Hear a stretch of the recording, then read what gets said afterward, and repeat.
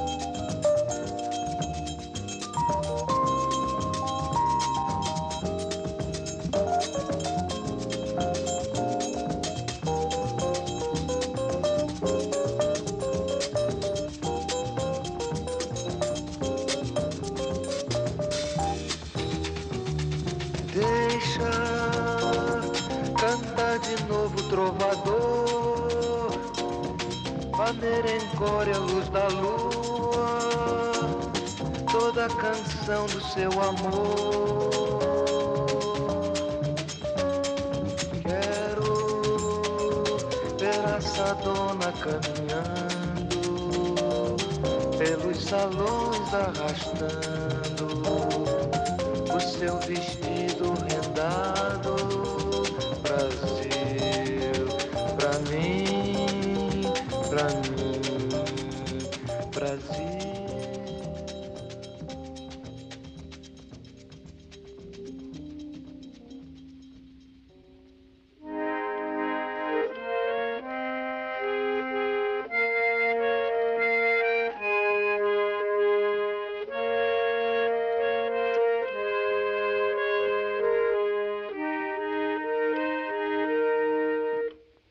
Parece certo, não é? Pois está tudo errado. Outra vez. Ele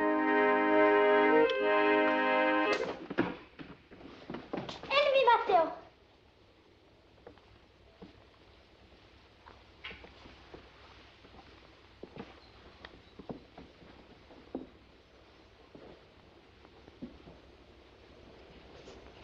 E como te atreves? Ela assim não se adianta, dona Barba sem um pouco de civilidade? Tens de tratar minha filha como um escravo trata uma princesa? A princesa do Brasil, que é o que ela será. Ninguém neste continente pode disputar a antiguidade de nossa nobreza de paulistas. Eu sou uma Bueno. Eu sou Silveira. E esta casa, que sempre foi das primeiras, será a primeira quando o Brasil for dos brasileiros. Agora sai daqui e vai pensar no perigo de ser ignorante.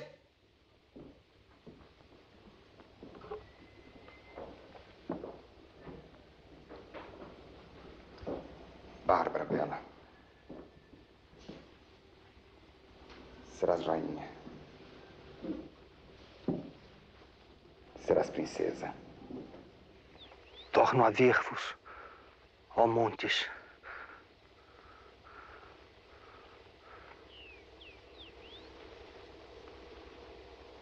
O destino aqui me torna pôr nestes outeiros que um dia deixei pelos trajes da corte ricos e finos. Aqui estou entre meus fiéis, meus doces companheiros, vendo-os correr atrás do seu cansado desatino. Todos amam Marília. Em torno de castas pombas, não rulam ternos pombinhos? E rulam Marília em vão não se afagam com os biquinhos. E a provas de mais ternura não os arrasta a paixão. Destes penhascos fez a natureza o berço em que nasci. Quem cuidara que entre pedras tão duras se criara uma alma terna, um peito sem dureza. Recebei, eu vos peço um desgraçado que andou até agora por incerto giro, correndo sempre atrás do seu cuidado. Que havemos de esperar, Marília Bela? Que vão passando os florescentes dias, as glórias que vêm tarde já vêm frias. Façamos, sim, façamos, doce amada, os nossos breves dias mais ditosos enquanto os destinos impiedosos não voltem contra nós a face irada.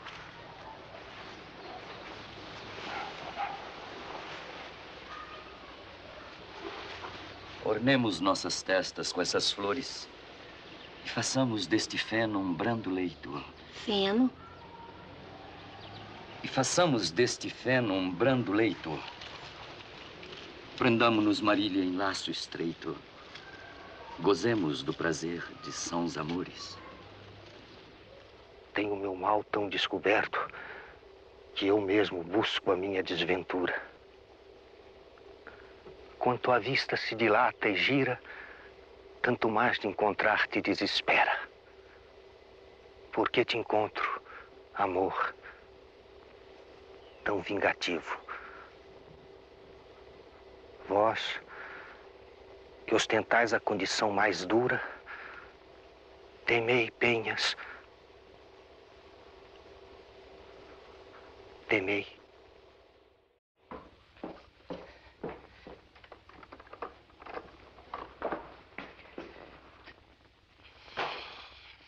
Amigo Doroteu, prezado amigo, abre os olhos. Boceja. Estende os braços e limpa das pestanas carregadas esse pegajoso humor que o sono ajunta.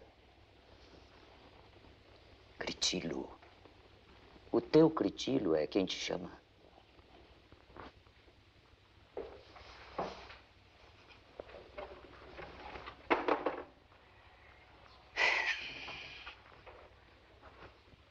Ergue a cabeça da engomada fronha. Acorda se queres ouvir coisas raras.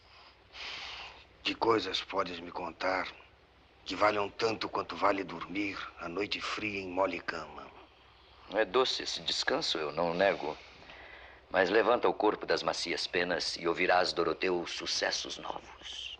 Estranhos casos que os sonhos mais requintados Jamais pintaram na ideia de quem dorme.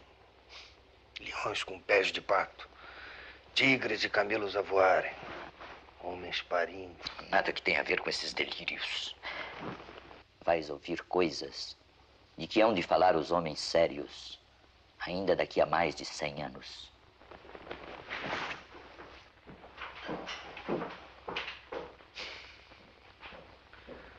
Levantar-me de um sonho quando atende meu ouvido um mísero conflito. Quem deixa o trato pastoril pela ingrata civil correspondência ou desconhece o rosto da violência ou do retiro à paz não tem provado.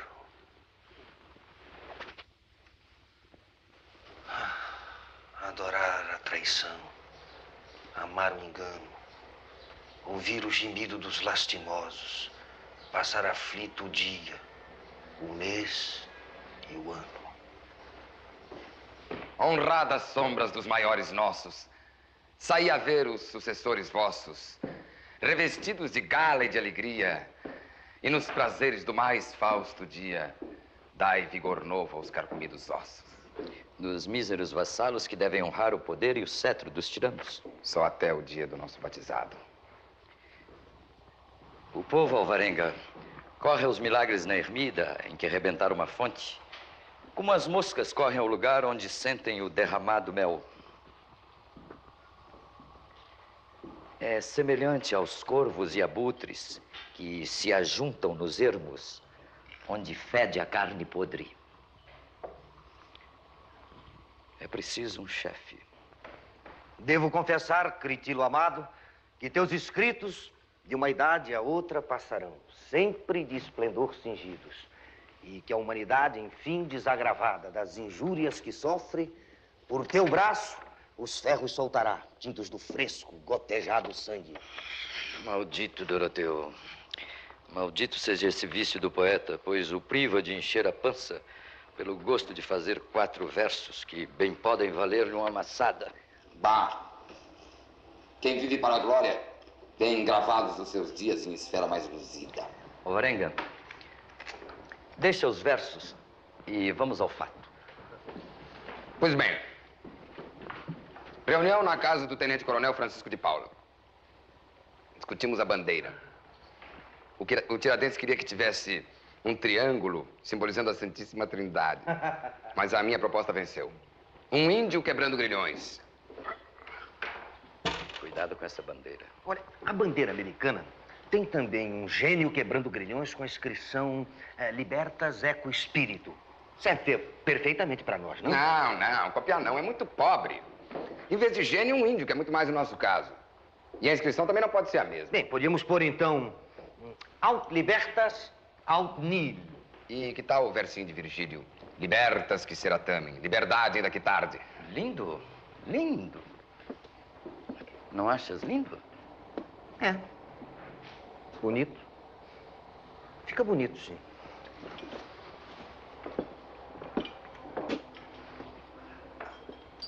Tiradentes. Ele vem te ver. Esse fanático me aborrece. Eu não quero vê-lo. Cláudio, toma cuidado. Esse homem ainda pode nos fazer muito mal.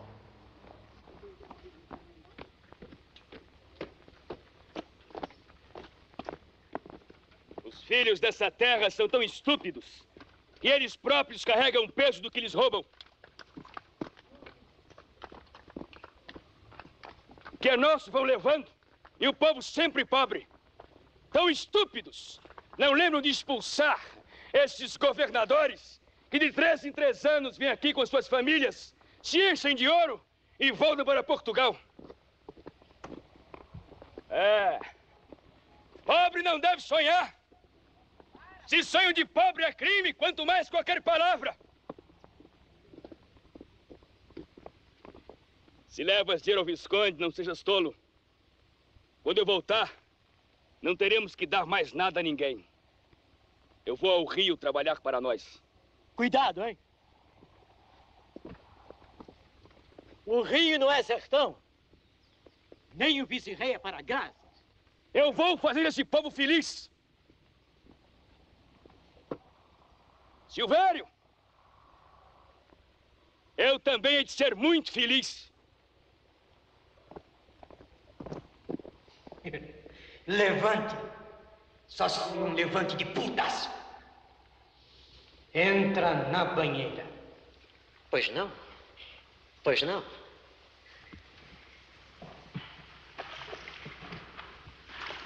Vossa Excelência deve acreditar no que eu lhe digo.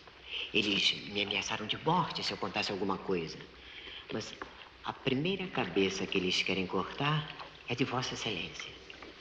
Vão pegá-la pelos cabelos e fazer uma fala ao povo que já está escrita pelo Dr. Gonzaga, suspendendo a cobrança dos impostos. Depois, eles degolam o ouvidor, o escrivão da junta, o ajudante de ordens e todos que duvidarem em segui-los. E o padre Toledo, que faz parte da conspiração, me disse que tudo lhe agradava, menos que matassem Vossa Excelência. Que ele preferia que o botassem pelo Paraibuna abaixo.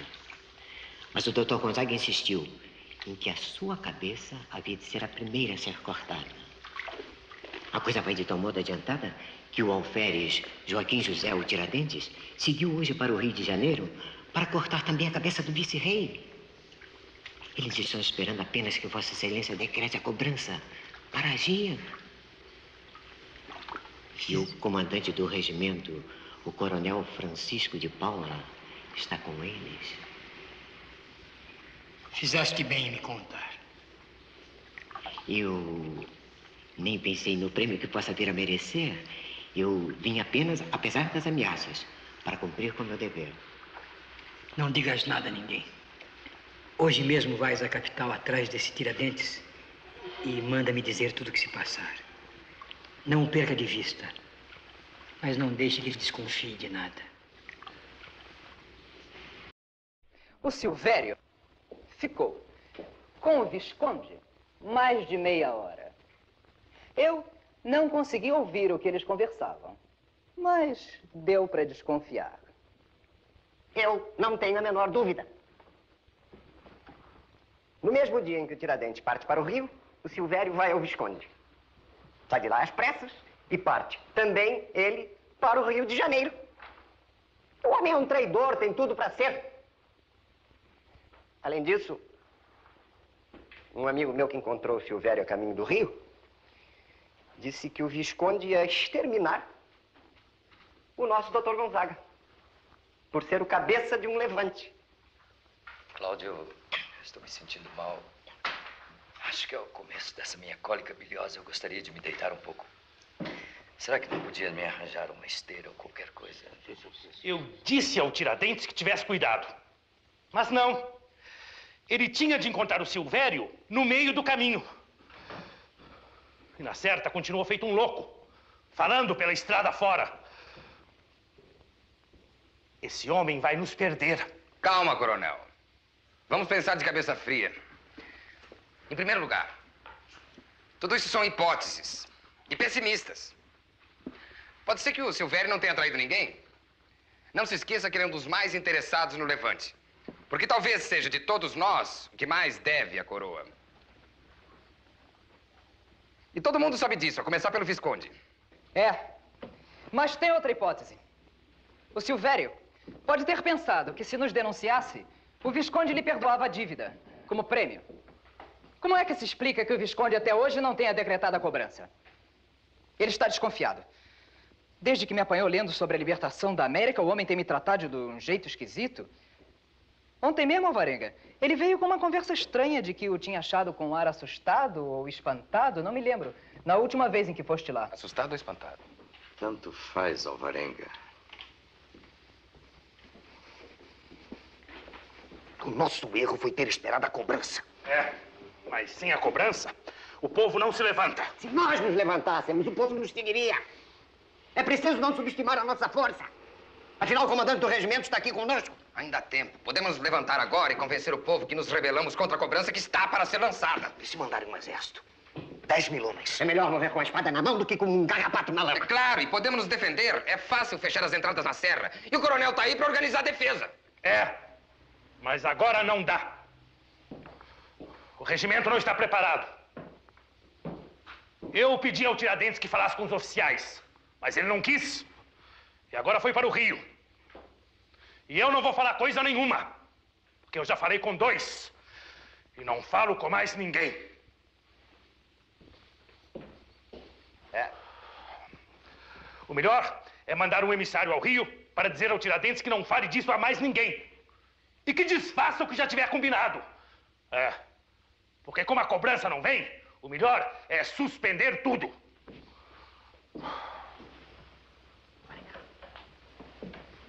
Esse coronel é um banana.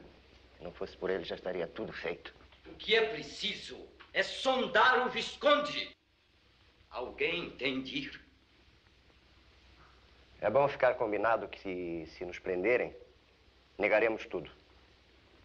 Mas quem é que vai nos prender, padre? Nós é que vamos prender os outros. Desembargador, Vossa Mercê é uma pessoa ao mesmo tempo cautelosa e curiosa, o que não deixa de ser engraçado. Se Vossa Excelência me permite, não se trata de simples curiosidade, ainda que temperada de cautela. O que me traz aqui é o desejo de advogar a causa pública. Vossa Mercê sabe bem que mesmo os chefes como eu, se bem que chefes, são também vassalos. Já recebemos uma repreensão pelo atraso dos impostos e eu trouxe ordens de executar a cobrança. Mas como a dívida é de fato muito grande, talvez eu faça a derrama de um ano apenas.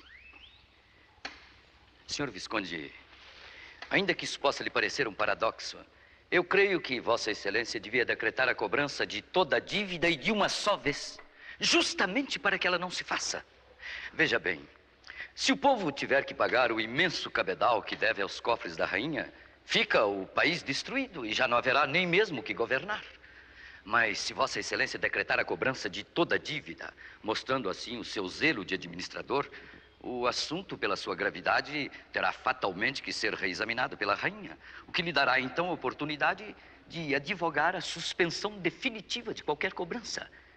Isso garantirá, Vossa Excelência, tanto a confiança de nossa soberana quanto a gratidão do povo. É, vindo de Vossa Mercê, a sugestão não deixa de ser engenhosa. Mas a cobrança de um ano apenas tem a vantagem de render um dinheirinho que, mesmo sendo pouco para vexar o povo, faz falta em Portugal. Pouco? 60 arrobas de ouro? É o bastante para que haja um motim. Para os motins eu tenho a tropa e uma majestosa cadeia. De qualquer modo, 60 arrobas de ouro é uma quantia abstrata para o povo. Ele não pode ficar mais pobre do que já é. Enquanto que para os seus amiguinhos que se regalam com iguarias finas. Não cuide, Vossa Excelência, de que tanto ouro se encontre na casa mal provida de um poeta. Prezo o sossego, porque sei que o sossego do povo é o sossego de Vossa Excelência. Porque quando desassossegado, o povo busca as cabeças mais próximas. A de nossa augusta soberana e seus excelentíssimos ministros estão bem postas além mar, enquanto que as nossas. Se não fosse bem conhecida sua prudência, desembargador, isso soaria a meus ouvidos como ameaça. Se houvesse ameaça, ela não viria de mim, mas do povo. Se Vossa Excelência não pode deixar de decretar a cobrança, porque já está repreendido pela rainha por ainda não tê-lo feito, então só o que pode fazer é cobrar tudo de uma vez, para que Sua Majestade veja a impossibilidade de fazê-lo. Pelo contrário, se eu decretar a cobrança agora, mostro que fui omisso e justamente repreendido por não ter feito aquilo mesmo que viria fazer agora com atraso. Para me justificar, será mais simples explicar a Sua Majestade que não decretei a cobrança e nem poderia fazê-lo, justamente por não ser conveniente aos interesses da mesma senhora. É isso, aliás, o que eu vou fazer. A cobrança fica suspensa. Talvez Vossa Excelência tenha razão. Será mais simples. Se errei no meu conselho, errar é humano. O povo lhe erguerá uma estátua.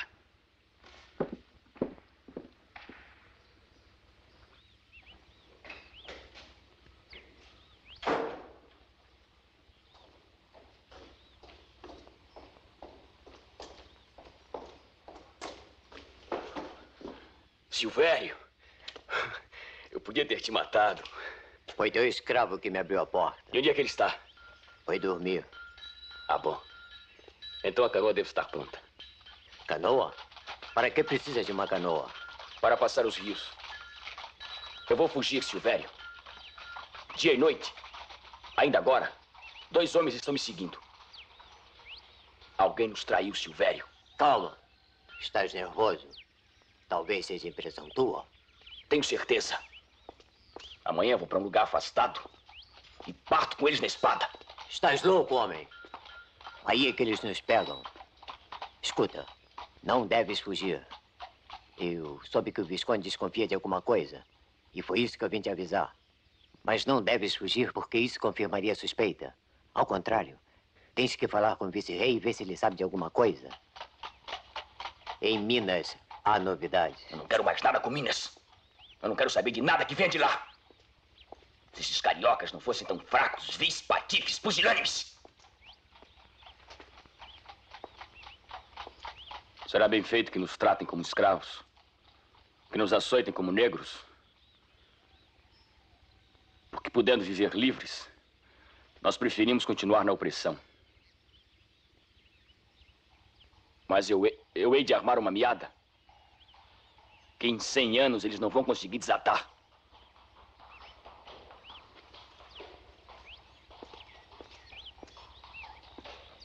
Ah, se me pegasse em Minas, a primeira coisa que eu ia fazer era matar o Visconde.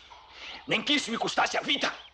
Sem passaporte, os guardas não te deixam passar. O melhor é que. esperes. alguns dias para ver o que acontece. Tens algum dinheiro? Não, eu saí às pressas, não trouxe quase nada. Ah, então hoje vais vender meu negro. Ele não me serve mais de nada.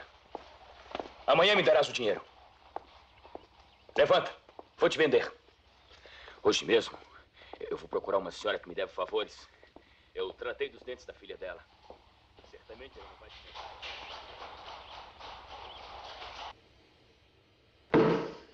Ah, esse impostor caloteiro que beija os pés dos ministros. Mas ele que está certo. Delatar o levante pode dar um lucro bem alto. Porque no fim, ficam os heróis em seus degredos, ou mortos em plena praça, e os delatores cobrando o preço de suas cartas. Tortos ganchos de malícia, grandes borrões de vaidade, cada recurvo penacho, um erro de ortografia. Para me livrar das algemas. Que importa o quanto eu diga.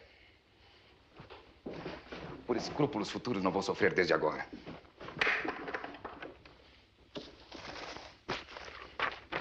Quais são os torpes? Quais os honrados? As mentiras viram lenda.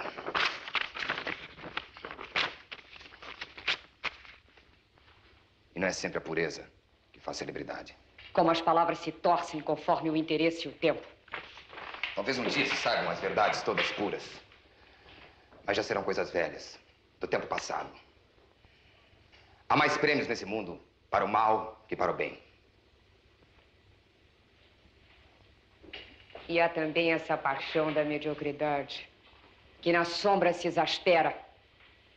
Fechar as janelas, os escaninhos dos móveis, escrever cartas anônimas, apontar os amigos, queimar papéis, enterrar o ouro sonegado, fugir para longe com falso nome. Que o remorso me persiga. Ou devo preferir a roda, a brasa, as cordas, os ferros, os repuxões do- dos cavalos. Eu não creio que a alma padeça tanto quanto o corpo aberto, com chumbo e enxofre a correrem pelas chagas. Eu sei como se castiga. Direi quanto me ordenarem. O que eu sei e o que eu não sei. Depois, de joelhos, suplico perdão por os meus pecados. Fecho meus olhos. Esqueço. E a tua glória nesta vida será morrer escondido, podre de pavor e remorso, afundado em um mar de pavorosa inexistência. E tu mesmo desejarias para que odiado e maldito pudesses ter esquecimento. Os heróis chegam à glória só depois de degolados.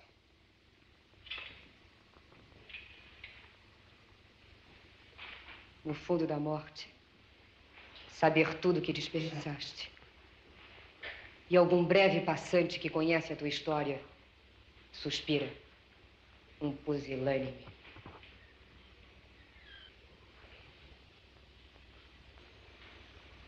Se tu não fosses, te lembrarias os grandes sonhos que tiveste por estes campos. As palavras murmuradas pela varanda e repetidas nas ceias. Quando levantavas a candeia querendo uma luz mais ampla. Eu nunca cometi crime nenhum que me fizesse fugir. A prova é que eu não fugi. Eu apenas me escondi e me armei porque estavam me extinguindo. Podia se poupar muito sofrimento. Nós sabemos tudo, até as menores coisas. Por exemplo, disseste certa vez que os cariocas eram os patifes vis, que era bem feito que levassem com um bacalhau na cabeça, porque suportavam de bom grado o jugo de Portugal. Eu nunca disse isso! Ele disse sim! Disse que estava arrependido de ter vindo para o Rio, porque todos os cariocas eram uns bananas com muito medo do vice-rei. E ainda me contou. Disse que estava muito desconfiado de um companheiro de viagem em quem ele tinha acreditado por ser brasileiro, mas que não passava de um cachorro que certamente o havia vendido à polícia. A única coisa que eu disse foi que ele é um cachorro! Tu és um dos chefes. Quem são os outros? Mas eu não tenho figura, nem valimento, nem riqueza para combater um povo grande destes, para levar um povo como estes a umas terras destas.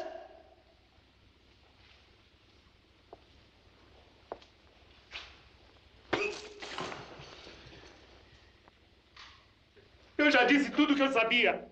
Eu já disse tudo na carta que eu escrevi pro Visconde. Meu caro coronel, a sua delação continua incompleta. Mas eles diziam. Eles diziam que também sabiam governar. Que escusava estarem vendo sair para fora todas as riquezas. E os brasileiros cada vez mais pobres. E que quando. E que quando se lançasse a derrama, o povo não poderia mais suportar. Então se faria o levante. Queriam. Queriam que me juntasse a eles. O que eu nunca fiz. Porque eu não podia aceitar semelhante desordem. E sempre protestava procurando com todas as minhas forças devolvê-lo de tão execrante projeto. E que eu, aliás, eu nunca tomei parte, porque me repugnava. Me repugnava aceitar aquelas sugestões diabólicas. Vieram me contar que um alferes, chamado por alcunha, o Tiradentes, andava convocando gente para um levante. Eu disse que dessem naquele maroto com um chicote, porque ele não passava de um bêbado que andava prometendo prêmios em casas de meretrizes para quando se fizesse uma república no Brasil. Pois não foi bem isso que a testemunha ouviu. Segundo ela, Vossa Reverendíssima disse que se houvesse mais homens com o ânimo desse alferes, o levante se faria. Eu não poderia ter dito isso porque sempre achei o Tiradentes um parvo consumado. Disse mais.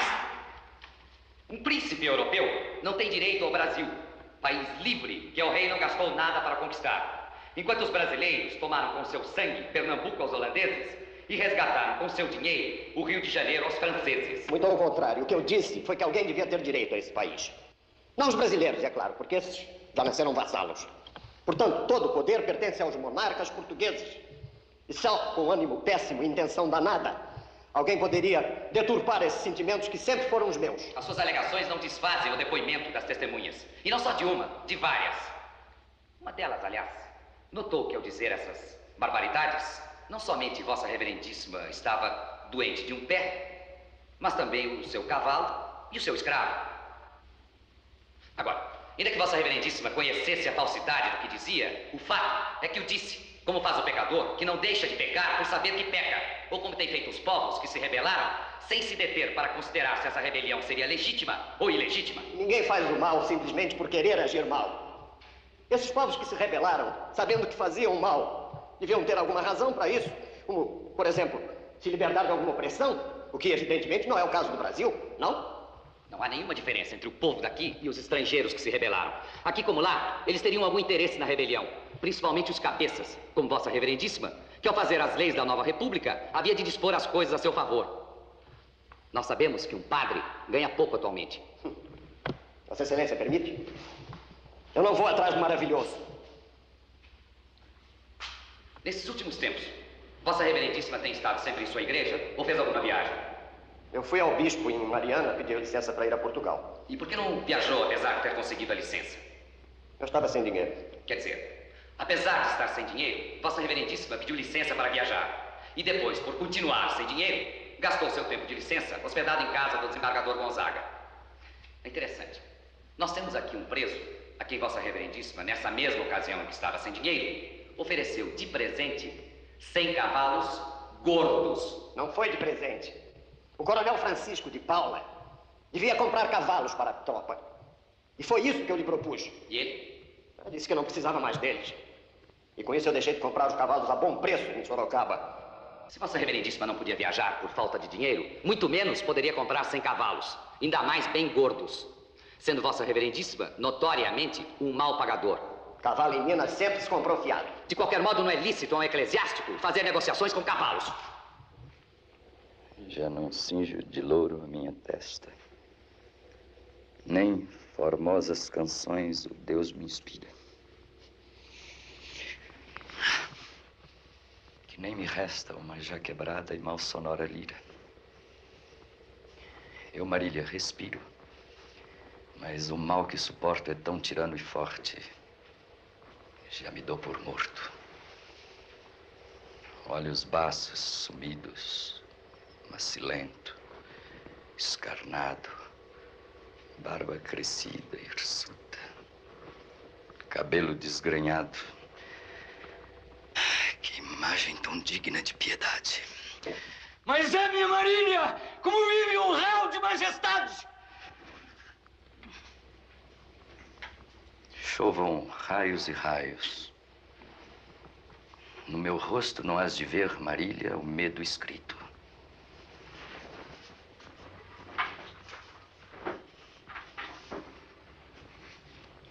Eu tenho um coração maior que o mundo. Tu, formosa Marília, bem o sabes. Coração e basta. Onde tu mesma cabes. Só ele pode livrar-me da injúria do nécio, do atrevido, ingrato povo! Tive medo de ser preso. Eu me enchi de terror. Entrei a deprecar os santos que não puderam me salvar pelos meus pecados.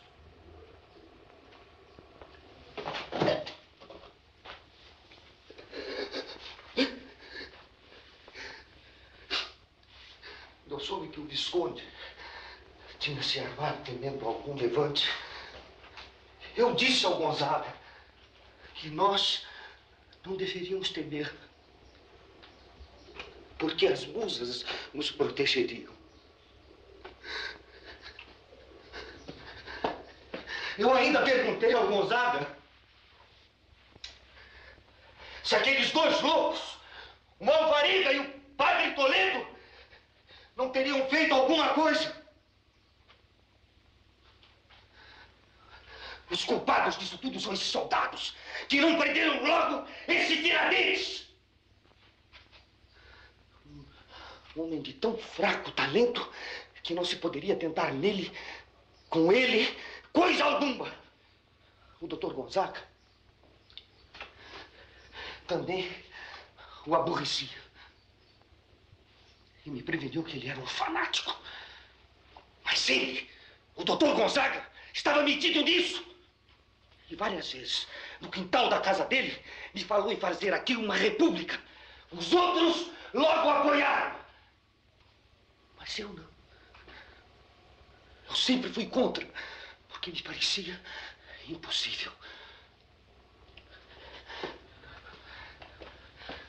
Muitas vezes, na minha casa, eles vinham falar com o coronel Francisco de Paula e o doutor Álvares Maciel, que foi o primeiro quem teve a ideia de discutir essas coisas. Meras hipóteses. Tudo me parecia uma comédia. Mas hoje, a minha desgraça me faz castigo das coisas mais insignificantes. Deve ser tudo por benefício de Deus. Que me conduz finalmente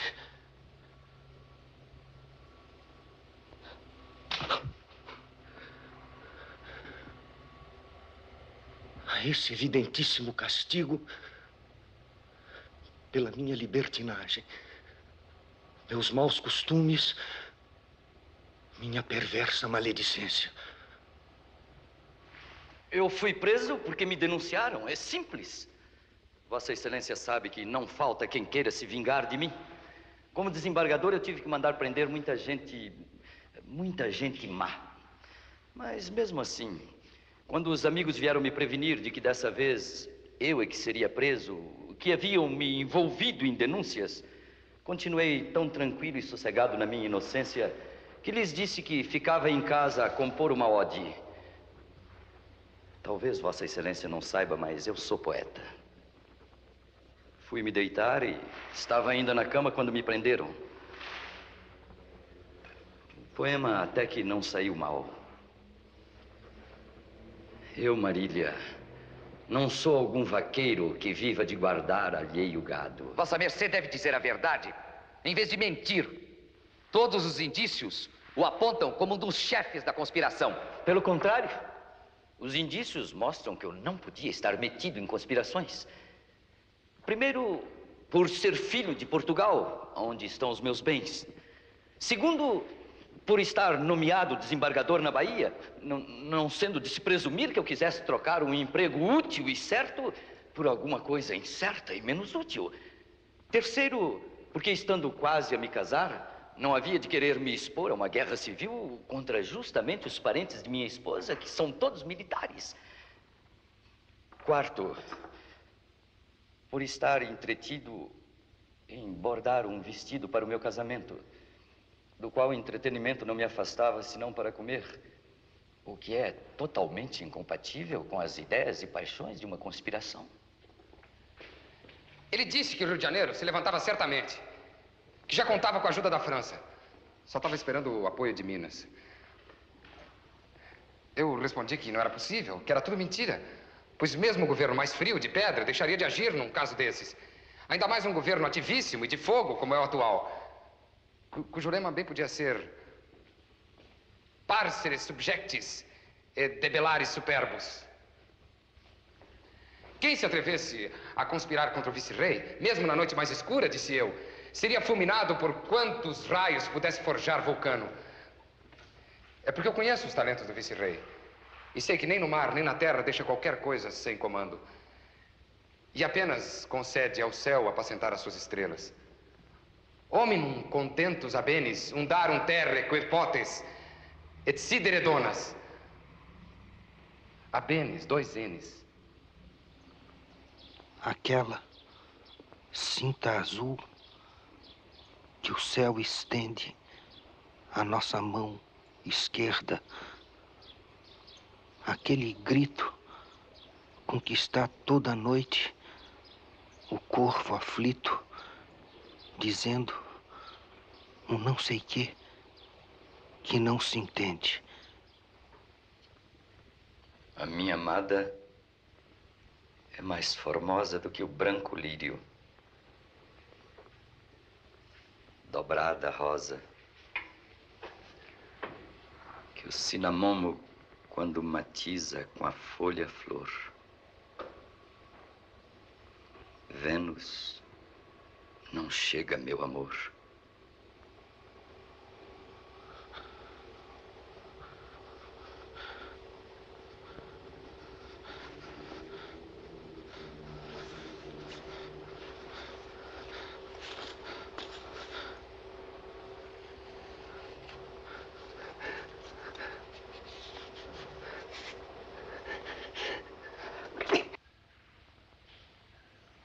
Passa-se uma hora. Hora sem perceber-se, vendo os teus cabelos. Passam-se os dias vendo os olhos belos. Partes do céu onde amanhece a aurora.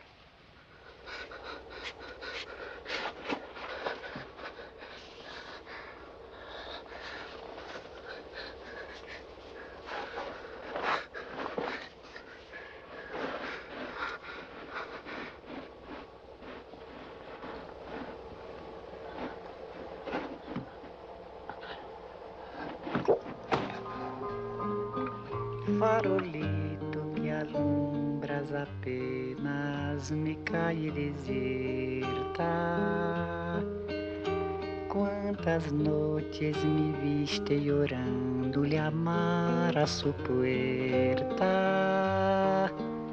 sin llevarle más que una canción, un pedazo de mi corazón sin llevarle mais nada que um beijo friolento, travieso, amargo e dulzão. Farolito que alumbras apenas me cai deserta.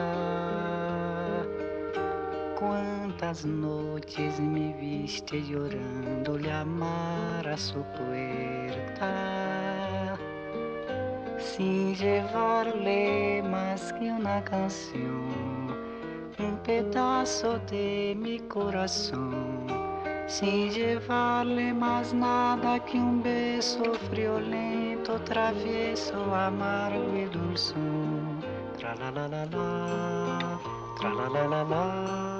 Essa é a verdade que resolvi dizer ingenuamente já que os meus menores passos não escaparam ao conhecimento de Vossa Excelência.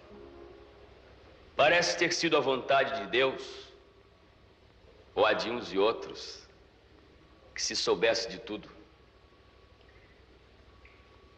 Eu neguei até agora para encobrir a minha culpa e não comprometer ninguém.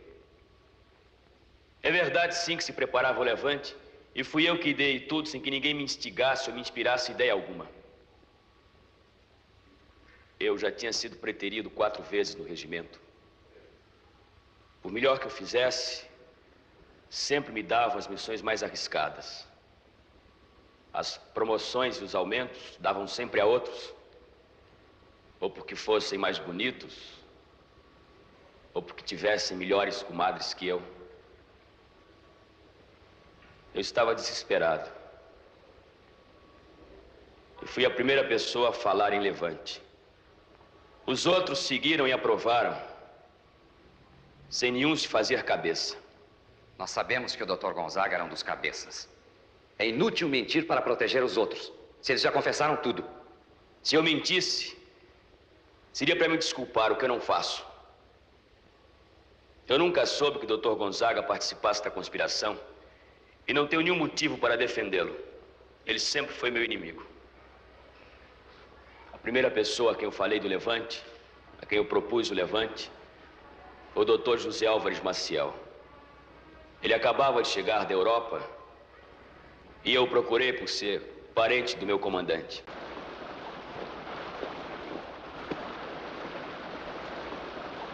Eu estudei mineralogia e procurei saber tudo sobre montagem e funcionamento das fábricas, principalmente na Inglaterra. A ideia sempre foi voltar e aplicar esses conhecimentos aqui, no Brasil. Os brasileiros não sabem os tesouros que têm. Nós podíamos fazer aqui praticamente tudo que se quisesse fabricar. Não fosse o jugo de Portugal, os governadores não têm o menor interesse no progresso do Brasil. Pelo contrário, eles querem um povo pobre e ignorante, porque assim podem nos roubar com mais tranquilidade. O espantoso é que os brasileiros suportem tudo isso com a maior naturalidade.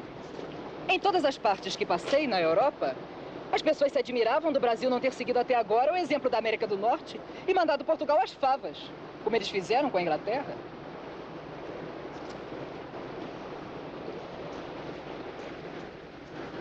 Foi então que me ocorreu a liberdade que esse país poderia ter. E comecei a desejá-la primeiro,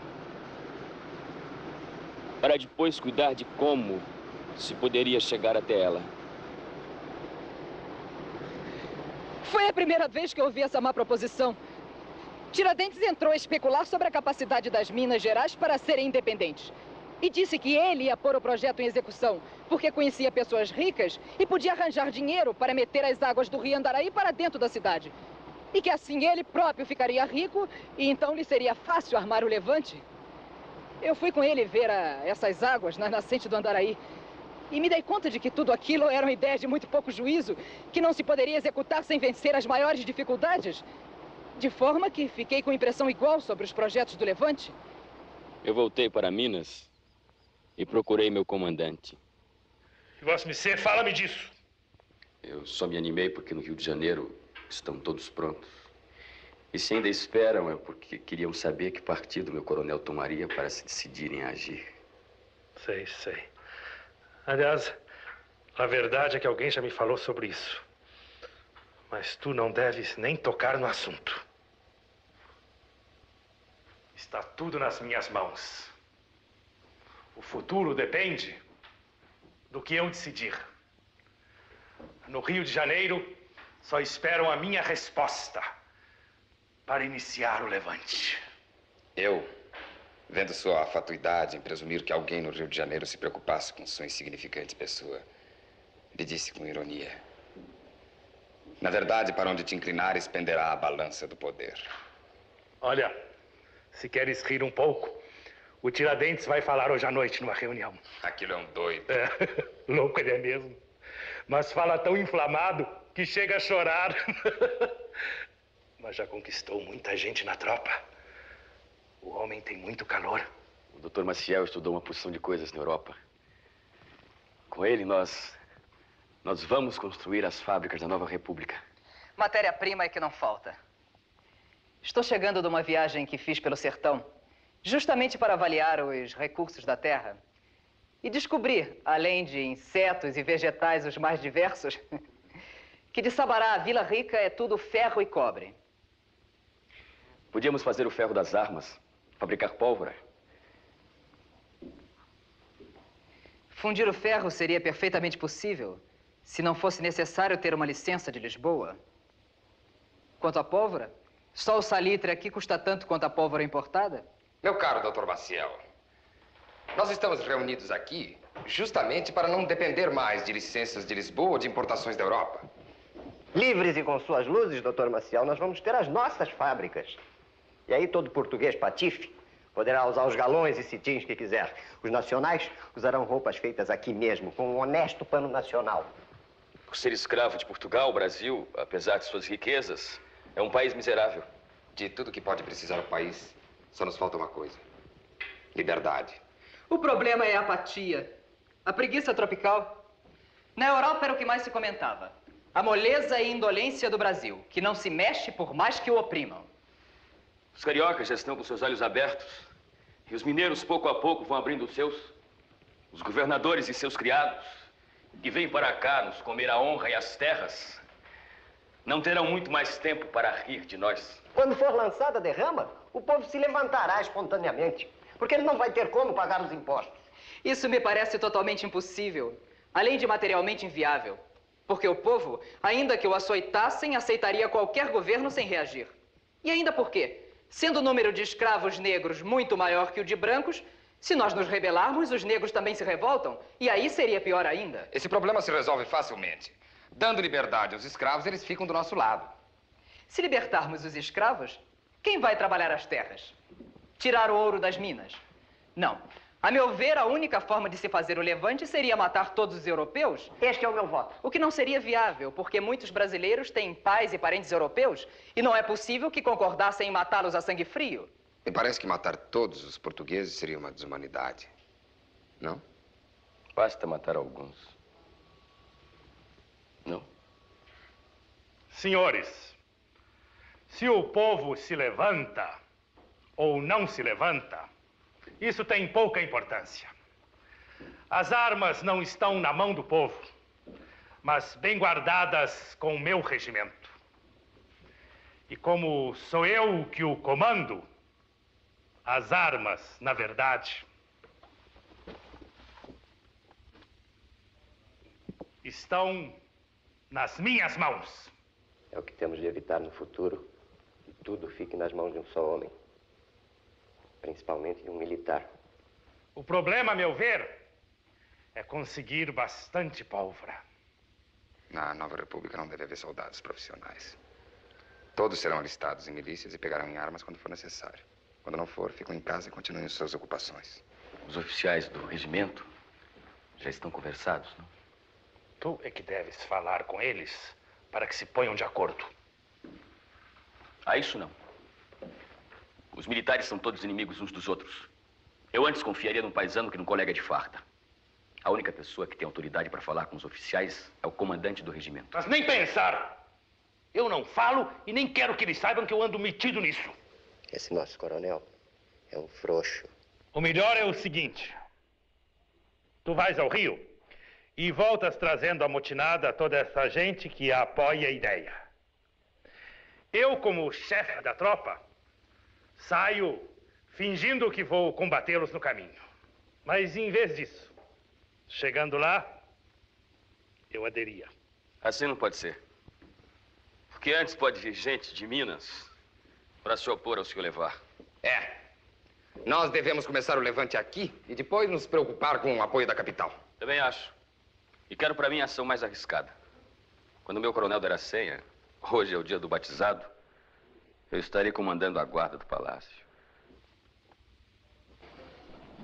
O Tiradentes disse que o primeiro passo era tirar a vida do Visconde. Eu acudi dizendo que não. Bastava pô-lo para fora daqui. Mas alguém insistiu, não me lembro se o Tiradentes, o Maciel ou o Alvarenga, que o Visconde era o primeiro que devia morrer. Porque não se fazia um levante sem cabeça fora. Alguém disse, não é levante sem cabeça fora. Talvez o Maciel ou o Padre Toledo.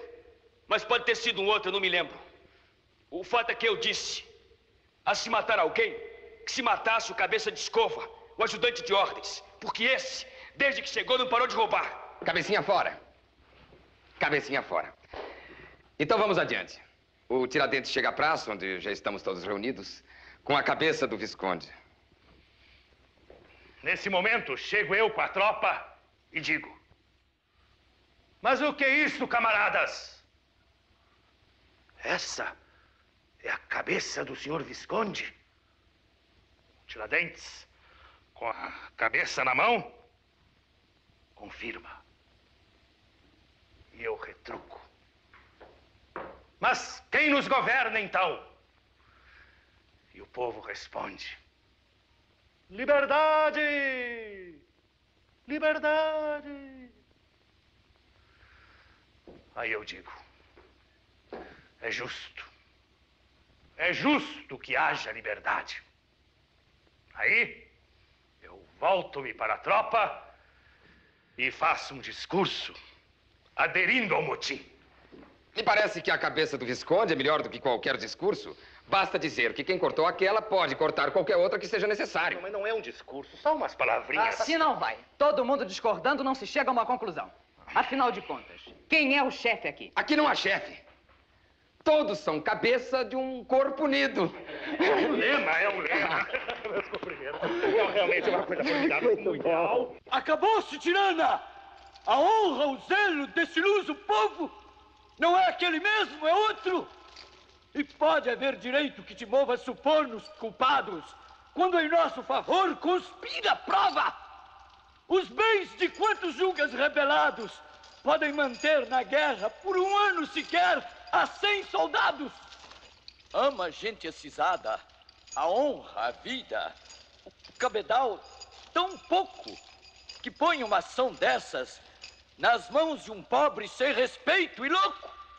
E quando a comissão lhe confiasse, não havia pobre soma que por paga ou esmola lhe mandasse. O mesmo autor do insulto, mais a riso que a terror me move, deu-lhe esta loucura. A prudência é tratá-lo por demente ou prendê-lo, ou levá-lo para que dele se ria, gente moça. Eu, o cega, não tenho um grosso cabedal dos pais herdado. Não recebi no emprego. Nem tenho as instruções de um bom soldado. Farmiam os rebeldes o primeiro no império que se erguia, à custa de seu sangue e seu dinheiro. Não me unira se os houvera aos vis traidores. Daqui nem ouro quero. Quero levar somente os meus amores.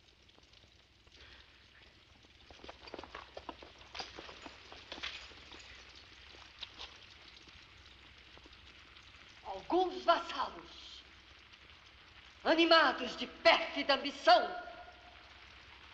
armar um infame plano para se subtraírem da sujeição e obediência a mim devidas. Pelo que não só os chefes da conjuração se constituírem réus do crime de lesa majestade de primeira cabeça, mas também os sabedores e consentidores dela pelo seu silêncio, não podendo delito tão horrendo admitir defesa que mereça menor atenção. Majestade.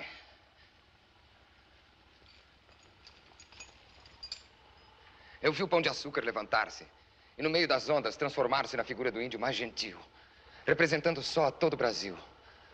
No peito, em grandes letras de diamante, o nome da Augustíssima Imperante. E disse ele: Sou vassalo, sou leal. Como tal, fiel, constante, sirvo a glória da Imperante. Sirvo a grandeza real. Fiel sempre a Portugal, ao famoso vice-rei ao ilustre general. Fidelíssima Augusta, para nós só queremos os pobres dons da simples natureza. Seja vosso tudo quanto temos. Sirva a grandeza real, a prata, o ouro, a fina pedraria que esconde nessas serras a riqueza. Real, real, primeira, só esta voz na América se escute. Bendita sejas, Lusitana Augusta. Cobre o mar, cobre a terra, um céu sereno, graças a ti, ó grande, ó sábia, ó justa. Lesa majestade é crime de traição cometido contra minha real pessoa. E é tão abominável crime que pode ser comparado à lepra.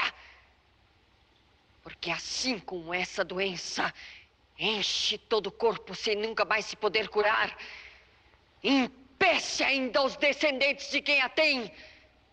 Assim o erro, tra traição, condena o que a comete. Impece, infama os que de sua linha descendem, ainda que não tenham culpa. Ah, vai-te! Vai-te embora! Melhor, minha Marília, eu gastasse contigo mais esta hora. Não praguejes, Marília, não praguejes. A justiceira mão que lança os ferros não traz de balde a vingadora espada. Deve punir os erros. Virtudes de juiz, virtudes de homem, as mãos se deram e no seu peito moram. A austera boca manda prender o réu, porém seus olhos choram. Se a vil calúnia denigre a inocência, que culpa tem aquele que aplica a pena? Não é o julgador, é a lei que nos condena. Eu ainda adoro o grande chefe. Bem que a prisão me dá que não mereço. Não me trata qual eu sou, trata-me qual pareço. Tu vences, Barbacena. Nas sãs virtudes que no peito abrigas, não honras somente a quem premias, honras a quem castigas. Pois então, parabéns, que o teu castigo não tarda.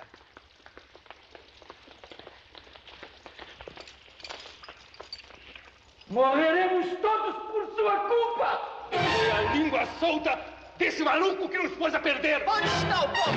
Onde estão os estrangeiros que viriam nos ajudar? Diante do povo é que era miserável e faminto, agora miserável e faminto somos nós. Queria ser um grande homem, vejam agora a figura dele. Falso! Merecia chicote, lhe demos ouvido!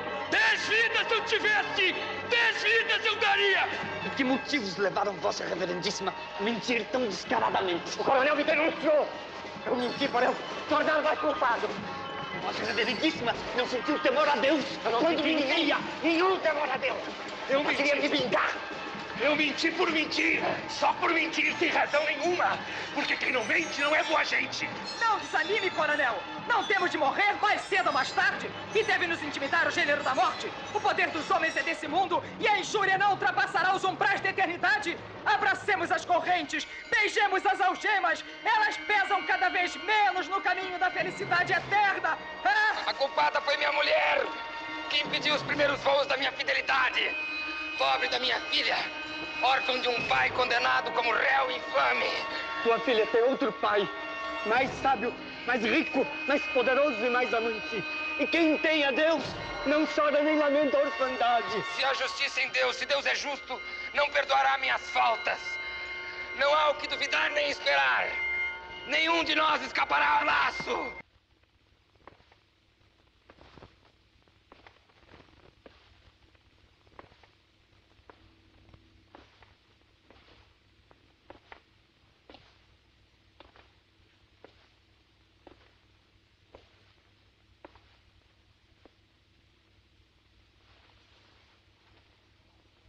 Condeno o réu. Joaquim José da Silva Xavier por alcunha o Tiradentes.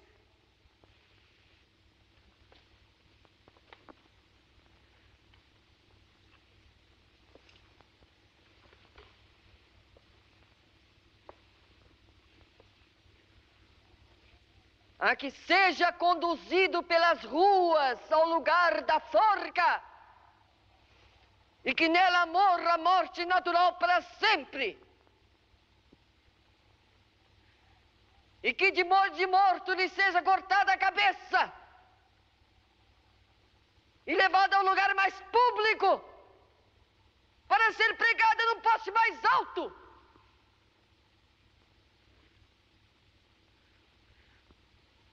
E seu corpo será dividido em quartos que ficarão expostos pelo caminho das minas até que o tempo os consuma.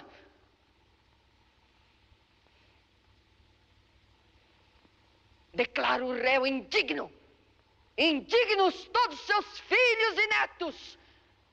Sua casa será arrasada e o terreno salgado, para que nesse chão nada mais cresça, nem se edifique pois ele se fez indigno de minha real pessoa.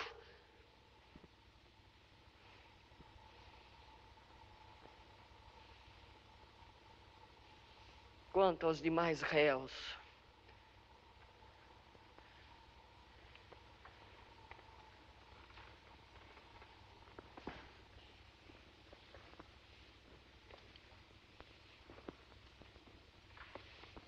a quem deve agradecer minha real clemência,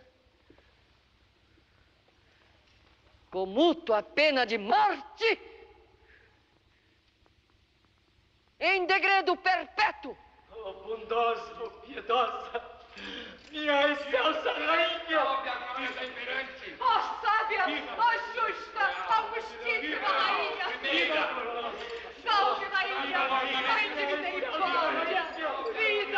glória, rainha! Viva a rainha Mar! Viva o céu sereno! Gonzaga!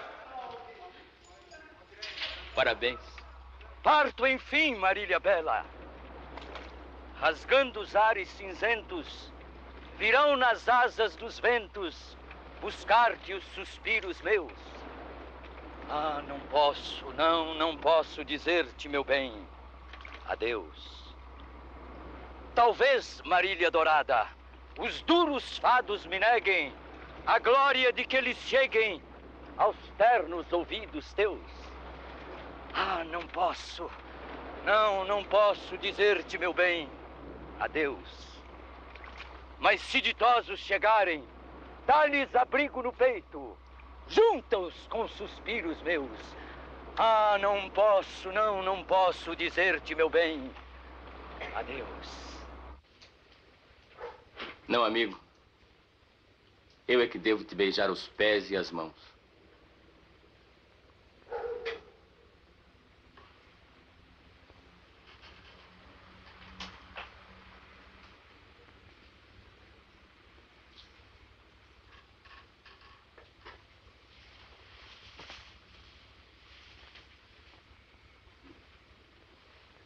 Cristo também morreu nu. Não traias o teu rei, nem por pensamento, que as aves do céu levarão a ele a tua voz. Eis como se manifesta o amor e o maternal cuidado de nossa augusta soberana.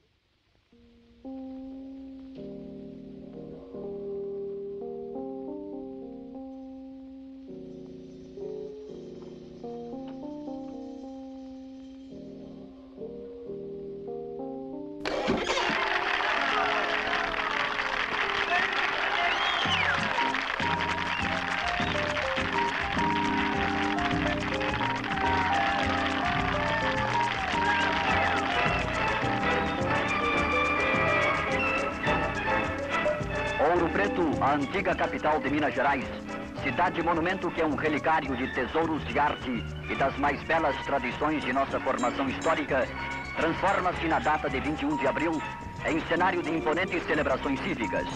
Povo e governo aqui se reúnem para honrar a memória de Tiradentes e dos heróis da Inconfidência, buscando no culto aos grandes do passado o estímulo para as conquistas do futuro. Convidado para orador oficial da solenidade profere discurso que é uma aula magnífica de civismo e amor à pátria que os grandes do nosso passado edificaram com seu sangue e sua vida. Por seu governo, como por seu povo, Minas reafirma-se permanentemente fiel aos ideais da Inconfidência.